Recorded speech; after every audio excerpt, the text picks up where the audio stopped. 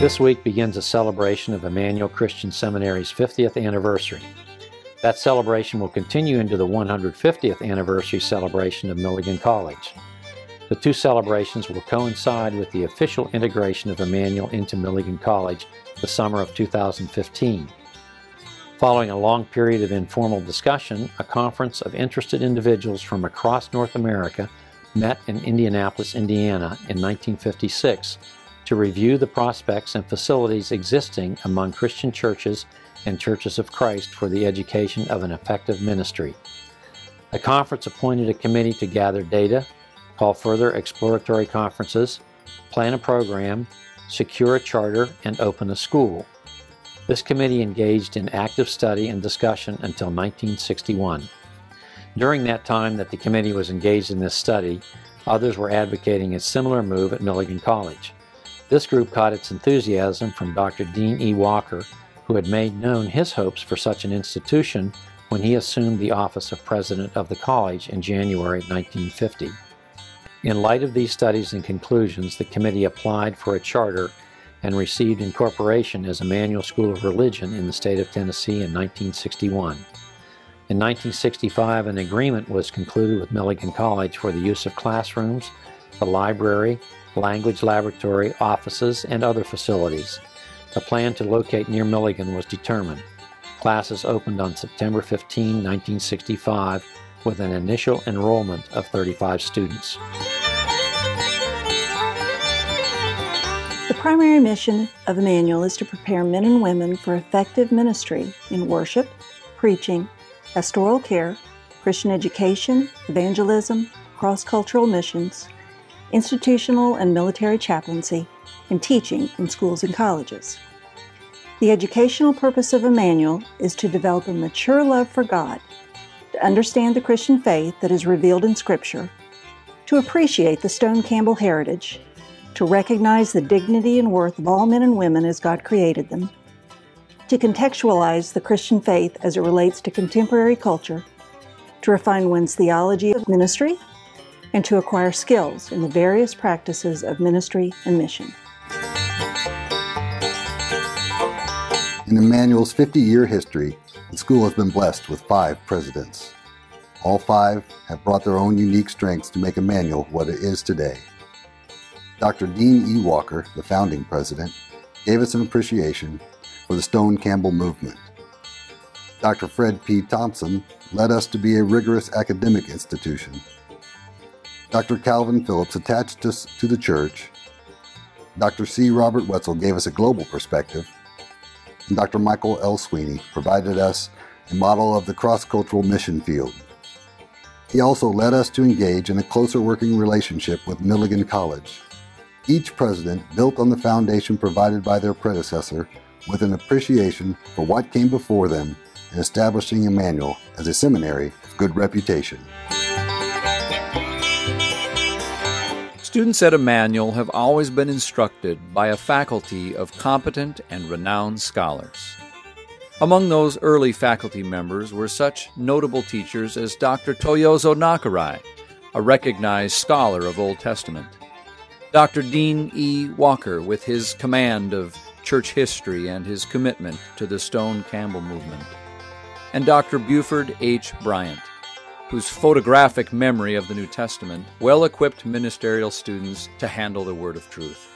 Over the years, Emmanuel's faculty has consisted of scholars whose doctorates have come from such prestigious academic institutions as Princeton, Yale, Harvard, Tübingen, Edinburgh, Oxford, and Johns Hopkins, to name a few. Faculty like that knows what quality education looks like and has always sought to reproduce it at Emmanuel.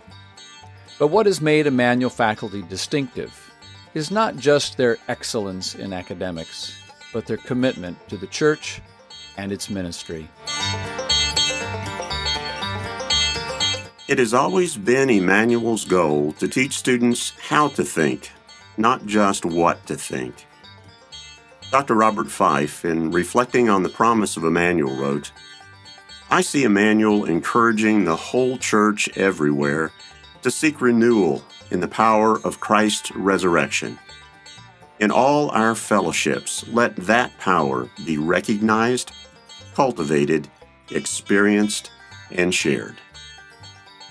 Dr. Fred Norris once said, We want our students to know the gospel and know it well, but also we want them to live the gospel and live it well. In 1981, Emmanuel became an accredited member of the Association of Theological Schools. Then, in 1986, the seminary received accreditation from the Southern Association of Colleges and Schools. These associations granted Emmanuel the right to award master's degrees and then in 1997 to even award the Doctor of Ministry degree. In 2012, Emmanuel received approval to offer an online degree, the Master of Christian Ministries. Emmanuel has been blessed with an extensive library. Over the years, the library has aggressively expanded its holdings and now numbers more than 180,000 items and receives more than 7,800 periodicals regularly. The main collection contains the libraries of a number of retired or deceased scholars, including names like Walker, Nakarai, Dampier, Thurston, Van Buren, Thompson, Brown, and Taylor. The Buford Bryant New Testament Seminar Library contains more than 12,000 items that are primarily concerned with the New Testament and its background.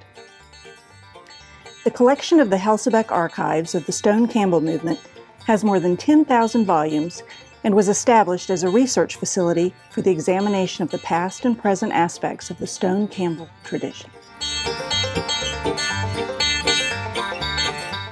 In the initial years, Emmanuel's program was located on the campus of Milligan College. Then in 1974, the seminary was blessed with its own campus in a single four story building with 62,000 square feet of space for most of the activities of the seminary.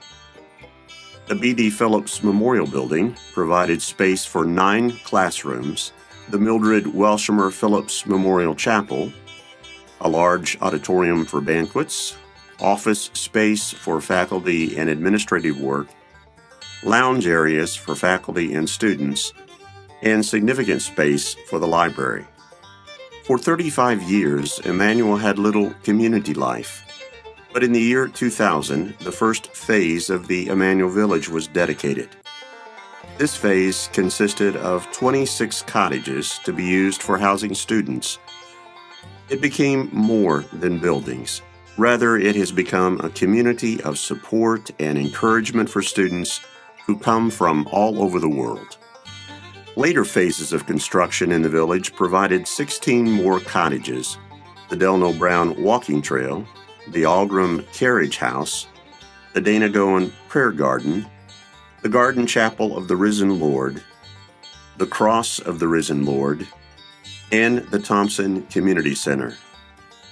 The 19,000 square foot Thompson Community Center serves as a guest house with 12 lodging rooms, the Fife Fireside Room, the Ashworth Alumni Hall, the Pratt Conference Room, the LaPorte Child Care Room, and three smaller seminar rooms.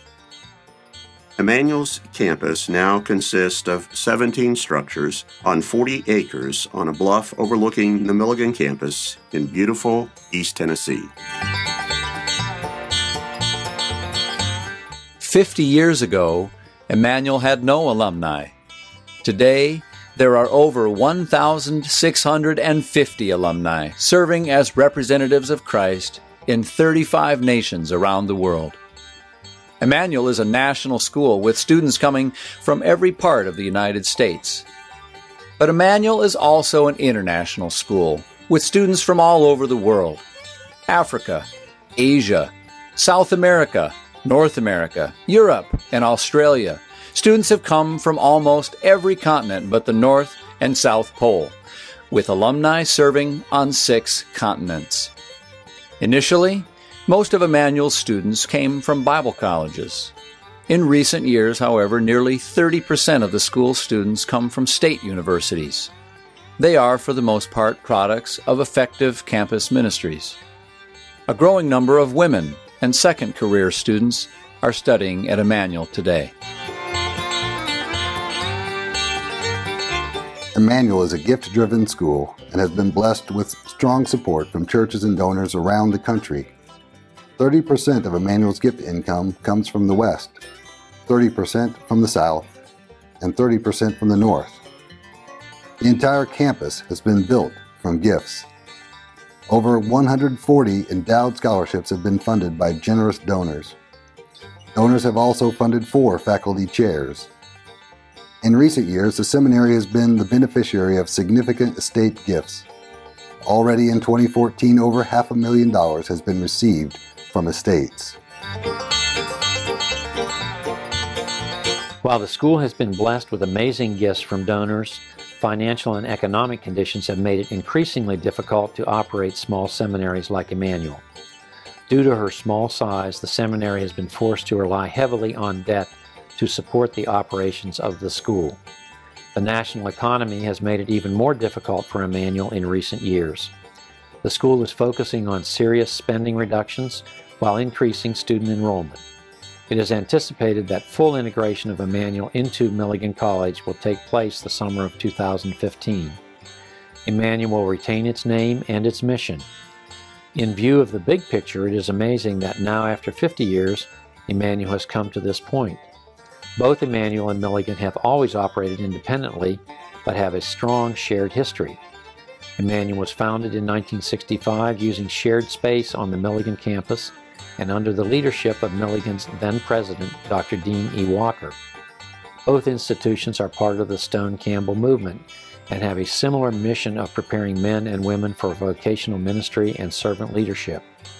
It was always Dr. Walker's vision that Emmanuel would be the graduate seminary of Milligan College. Now Emmanuel's program will be enhanced by having the strength of Milligan College behind it. This is truly Emmanuel. God is with us.